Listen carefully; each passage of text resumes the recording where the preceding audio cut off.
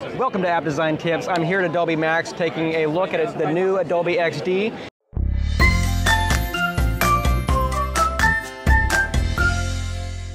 So I want to show you one of my favorite features, and this is they announced states are coming for Adobe XD. This is the most requested feature for a long time. I think they had over 10,000 votes for this feature.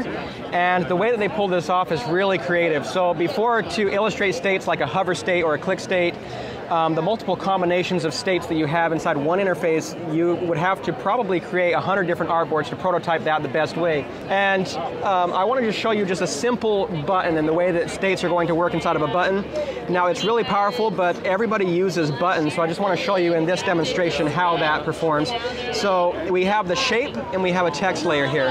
So the first thing we want to do is create a component. So how we create that component is just go over here into our assets panel over here, and we can just click on the plus right here, plus component. And let's just double click and call this button. So we have our first button component, and this is normal to what we probably used to in Adobe XD. But you can see over here under design, we have a default state. That's just the one state that it starts out with. But if you click plus, probably the most common state is going to be the hover state. So if we click hover state here, and we can just name this, keep it named hover state, um, we can jump into here and start editing this in this hover state. And so I'm going to go into my blue color here, we can lighten this up just like that. And now when I go into prototype, I'm going to click right here, go back into the default state. When I hit prototype, then it say it already connects this over. So I click on hover state right here. It says when I hover, I'm going to auto animate to the hover state. So now when I click play, you can see that's exactly what it does. We have our hover state. It's just with a few short clicks, we have that hover state. It's really awesome. I'm going to go a little bit further. We're going to create a click state. So I'm going to hit plus, and let's just call this click. And with the click state, um, before we even design the click state, we can go back into our default state so let's move on over to default state here, and we have a hover state, but let's add a new interaction here. Let's say when we tap on this, it shows we have two states now, tap and hover. When we tap, let's auto animate to the click state. And so we already have that animation working, but in order to design that, let's jump back into design. We can go back into our click state here, and let's just do some wild stuff here. I'm just gonna rotate this shape, just rotate it here, and I'm going to hold down shift to lock that. We're going to expand this shape, something like that, and let's change the color here to maybe more of like an orange or a red color.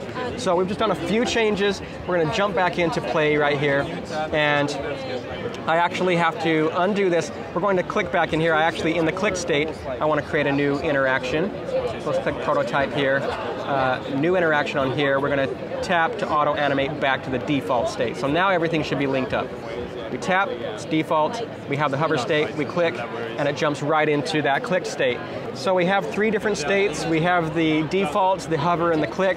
And the nice thing about this is if we save this in our components library, and let's say we have 10 projects that are using this button, we can save this and share this in one project, share it to those other 10. If you jump back in here and you want to change the look of that state, you can do that and it reflects upon all your other projects.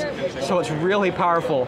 And they illustrated a few designs where they have hundreds of different UIs. You can toggle switches back and forth and multiple different things within one interface, and it's all designed with multiple states in one artboard. So it makes the organization much simpler, and it's super powerful. I suggest you check it out and do things beyond just the buttons, and let me know what you're going to use states for, and go ahead and share your designs with me. I'd love to give you some feedback. And let me know in the comments below what your favorite feature is in Adobe XD.